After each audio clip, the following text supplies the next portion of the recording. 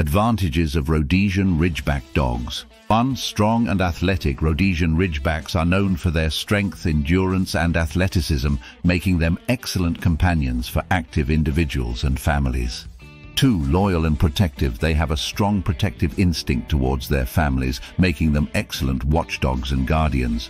Is gentle with children, Rhodesian Ridgebacks are typically gentle and patient with children, especially when properly socialized from a young age, making them suitable family pets. 4. Low maintenance coat. Their short, dense coat requires minimal grooming, consisting mainly of regular brushing to control shedding and maintain coat health. 5.